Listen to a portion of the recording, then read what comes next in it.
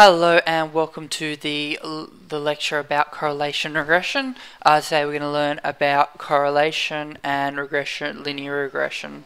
Um, let's start with histograms. Uh, there are five characteristics to look at of a histogram. Uh, the first is central tendency. Does the data have a natural central tendency? That is a typical average score in the middle and then equally distributed on either side. Is there variability? That is a spread of scores around the mean. Do they bunch or do they spread out? Is there a pointy or a flat distribution? Um, uh, is there skewness and what sort of modal characteristics are there? Is there one peak, two peaks, or more than two peaks?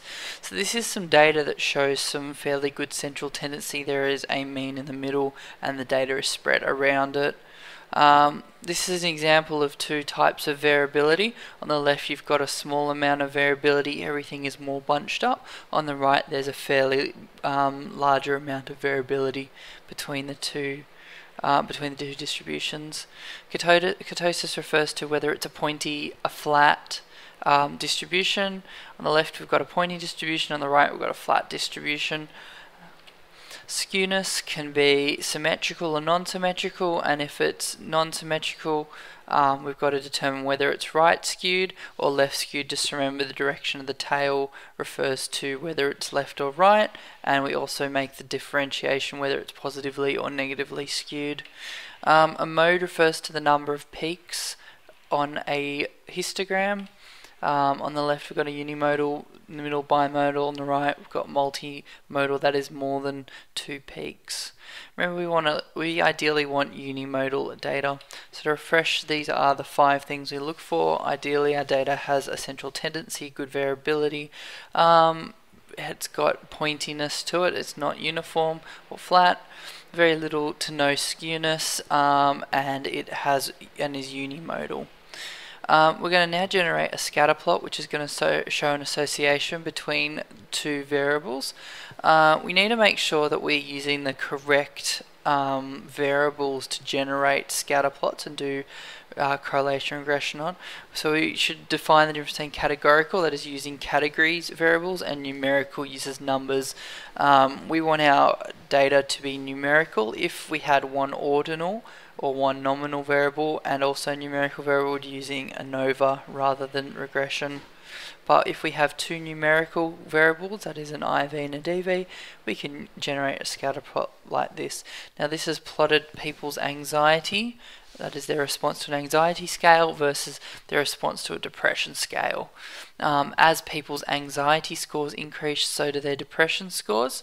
Um, each point on there represents one person's anxiety score where it meets with their depression scores. There is a line going through the middle that best summarizes the relationship between the data, and we'll discuss how we get to that in a minute. There are seven aspects of a scatter plot that you need to go through. The first one is is there a linear relationship? The second one is it if so is it positive or negative? The third one is well if it's not linear, is there a better way to summarize the data? Um, if it is, is a straight line the best? The fourth question is what is the strength of the association? That is, is it very, um, is the gradient very strong or is it weak? Is there a high correlation? Are there any gaps in the data and where are the outliers? So going back to our scatter plot, yes, there's a linear relationship. I would say it's very, uh, it is positive. It is that the straight line was sufficient to sum up the data. It was moderate to strong relationship because we've got quite a um, steady gradient. There is a high correlation. There does not appear to be gaps. There's a couple of outliers on each side, but nothing really drastic. Um, we're looking for really drastic outliers to say anything about, and even then at this stage we don't really do anything. Um, this sort of sums up what the difference between the different correlations are. If we were to draw a line of best fit through the top three, you see the first one there is no correlation between the variables, whereas the second one there is a little bit of a negative, and the third there is um, a little bit of a strong. So what we come up with is a variable called R. R tells us two things. It tells us about the strength and the direction of the variable. If R is positive, the direction is positive. If r is negative, the direction is negative. The closer r is to 1 or minus 1, the stronger the association between, or the stronger the correlation rather, between the two variables. So if we compare r of 0.5 in the top right and 0.9, you see that at 0.5 there's quite a lot of variance around the line on either sides, whereas an r of 0.9 there's not much variance, so that line better summarizes that data. R is also talking, also known as Pearson's R, and is also known as the correlations coefficient. As I said, it tells us strength and direction. There's a quick table to talk about strength between the two variables, and also the direction between the two variables. A p-value will tell us whether there's a significant relationship between the two variables. Remember that um, a p-value is always testing a null hypothesis. So if we go back a slide, we're testing for whether there's a significant relationship. The null hypothesis is that r equals 0, or in the population we denote that with a p, that is p for y equals 0. So um, that's the null hypothesis. The alternative hypothesis is that p is not equal to 0. So essentially we're testing whether Pearson's r is equal to 0. Um, in this table we can see uh, an r value, which is minus 5 uh, sorry, minus 0.541, um, and it's got two asterisks, which tells us that the p-value is significant. Um, at the bottom, it tells us that significant at the 0.01 level. Normally, you'll be satisfied with anything less than 0.05 as being significant. So in this case, for the one that's highlighted, it means that self-esteem and depression are significantly negatively related to each other. Let's move on to linear regression now, how we can actually apply um, those principles that we've just learnt. Remember we can use either the point and click or syntax to generate SPSS output. We're not going to go through SPSS in this um, 10 minute summary of correlation regression. Um, it's just too much to fit in 10 minutes. Uh, so looking at table 1 that comes out from SPSS in, linear, uh, in a linear regression is table 1, the model summary. This tells us the R and the R square. It's nothing that we previously didn't know, but the r squared is probably worth talking about. r squared is r times r. It gives us a percentage of which we can say variable x is accounted for x uh, percent of in variable y and variable y accounted for uh, percent of variable x. So in the above situation we could say anxiety accounted for 25.3% of um, the variation in depression score and vice versa. The next table tells us that there is a significant relationship between the two variables, um, as the sig part of that table tells us. Um, that lets us know that yes, it was worth running this linear regression between these two variables. If we look at the first table, there are several things in that table which are important.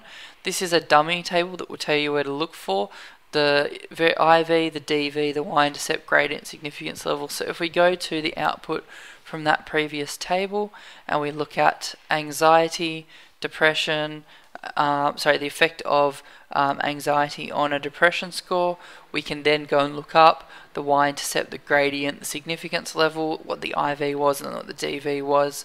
If we pull that out of the table, we get as follows. We are going to now put that into equation of a straight line. The straight line will best summarize what is in that data.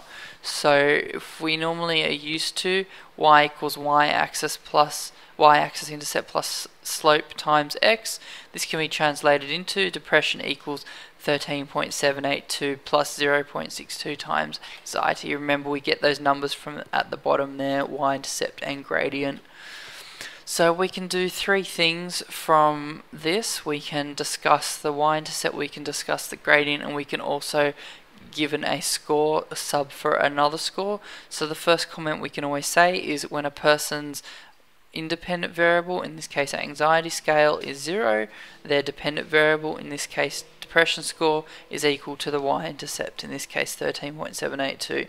We can also say for every one unit increase in the independent variable, there's a um, gradient increase in the person's depend in the dependent variable. So in this case, it's anxiety, and the gradient was 0.620, and the dependent variable was depression. We can also substitute into the equation at the top for different levels of anxiety to solve for a depression score. So given anxiety score of 20, person depression score is 26.182.